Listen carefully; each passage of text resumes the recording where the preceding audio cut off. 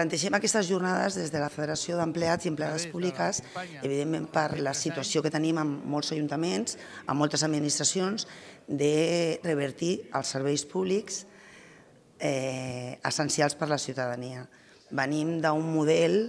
eh, on els governs eh, han plantejat sempre eh, aquests serveis des d'un model privat i volem també que això se pugui revertir en els serveis públics amb més qualitat i més serveis. Serveis més essencials que la ciutadania, de més, té que rebre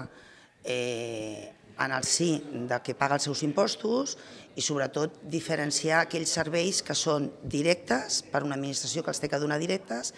i eh, per un eh, servei públic que sigui de qualitat i, y que arribi al ciudadano. No se pide cuál es la opinión del sindicato con respecto a la remunicipalización o no de determinados servicios, si son públicos o no son públicos, eh, y por otro lado tampoco se tiene en cuenta la mayoría de las veces la representación legal de los trabajadores, que tiene un papel fundamental para velar de que ese proceso de reversión de esos servicios públicos se realice de una manera correcta. Remunicipalitzar requereix un anàlisi econòmic, jurídic, previ, racional i desapassionat. Cal mirar econòmicament, si això és possible, perquè ens trobem moltes vegades a que la partida pressupostària del capítol 1 no pot ser eh, que passin tots els treballadors eh, perquè surt més car i també ens trobem moltes vegades que no tots els serveis essencials eh, tenen que ser públics públics, poden ser empreses o ja no fundacions o consorcis. Tenim l'exemple del Consorci Sanitari de Lleida, per exemple, que van voler també revertir els treballadors i nosaltres parlem també de la subrogació que tenen que tenir aquests treballadors a l'hora mateixa de tenir i de millorar les seves condicions laborals. Nos encontramos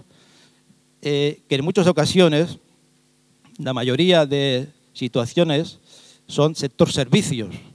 servicios públicos, por lo tanto, eh, no siempre la estructura, digamos, de medios materiales es la más importante y la más relevante, sino que la más relevante es lo que sería la mano de obra, lo que serían los recursos humanos. Y esto se produce con mucha frecuencia en el ámbito de la administración. Nuestro planteamiento como sindicato entendemos que siempre tiene que ser el de mantener los puestos de trabajo, mantener las condiciones laborales haciendo una subrogación, siempre y cuando esas condiciones laborales sean mejores que las de la administración pública donde se van a incorporar. Si no es así, hay que defender que las condiciones de la administración pública, que deben ser más, más garantistas, sean las que se le apliquen a la empresa que se internaliza ese servicio dentro de la administración local o la administración pública que corresponda. Hem d'establir de, criteris de gestió dels, dels, dels recursos públics orientats a resultats. Eficàcia, eficiència, economia, a qualitat. Una cuestión es el modelo de gestión de calidad, de, eficacia, de eficiencia eh, a la hora de prestar los servicios públicos de cara al ciudadano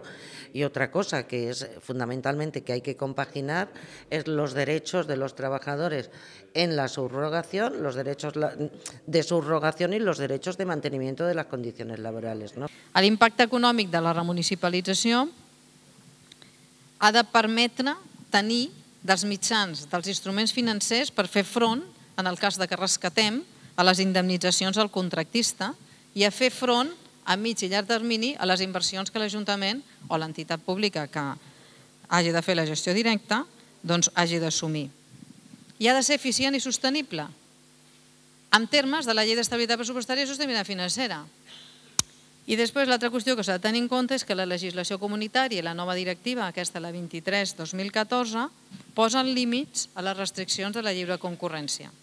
que no es tenen amb els serveis obligatoris de l'article 26, però que sí que es tenen en els serveis públics